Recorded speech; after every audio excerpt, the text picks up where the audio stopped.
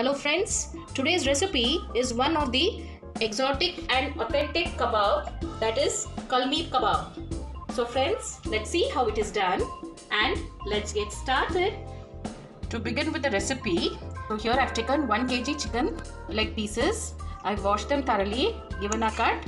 Then I have wiped them dry. Marinate it with salt, half teaspoon of kala namak that is black salt, half teaspoon of white pepper powder, half teaspoon of uh, green chili paste, 1 tablespoon of papaya paste, 2 tablespoon of vinegar, 1 tablespoon of ginger garlic paste, half teaspoon of turmeric powder.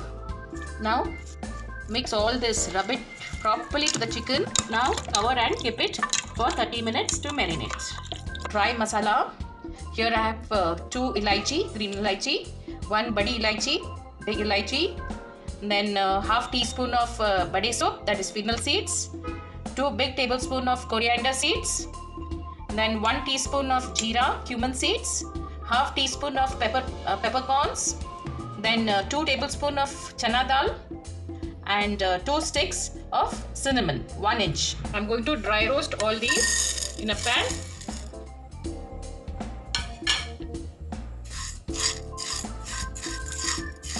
So this is our masala. Dry roast it in medium flame for about 2 to 3 minutes. It's done now.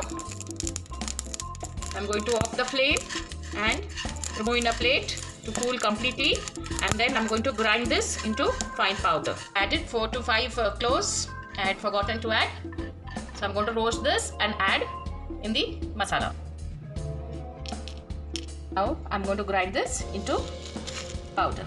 Now for the second marinade, here I have a mixing bowl and that I'm going to put 1 cup of thick hung curd. Now beat this well till it is smooth. Now to this add 2 tablespoon of ground masala, 1 teaspoonful of chili powder, 1 tablespoon of chili paste. For the chili paste, what I've done is I've soaked 10 to 12 Kashmiri chilies in hot water for 10 minutes. Then I've grinded um, this chilies along with uh, 2 tablespoon of uh, vinegar into smooth paste. Just add 1 tablespoon of ginger garlic paste. Full heap tablespoon of kaju paste. For kaju paste, I've soaked uh, 1 4th cup of uh, cashew, cashew nut in hot water and then I've grinded it into smooth paste. Adding 1 1 tablespoon 1 or 2 tablespoon of water. 3 tablespoon of olive oil. You can use any oil in this. Now gently mix all this masalas. Second marinade is ready. Friends it's been 30 minutes for this chicken for the first marinade. Now I'm going to add the second one. Now rub this masala into the chicken.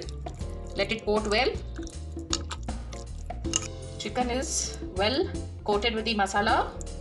Now again marinate keep this in the fridge for uh, 3 hours. So friends chicken is beautifully marinated. I had kept in the fridge. Now I've uh, kept it out. Let it come uh, to room temperature. Mix well. Now keep on the pan in low flame. Let it cook in low flame apply some marinade so friends it's been 5 minutes I've been cooking in low flame. Now let's turn to the other side. So friends if you like this recipe please hit the like icon below the video. Share with your family and friends and subscribe my channel if you're new to it or if you have not yet subscribed. Now I'm going to flip the other side. Wow lovely.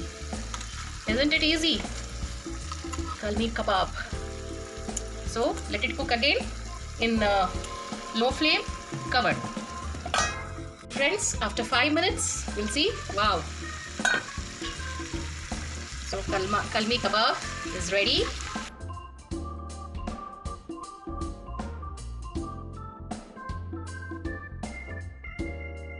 So friends while serving add melted butter over it it gives a nice soft and flavory buttery taste. So do try this and let me know in my comment box. Thanks for watching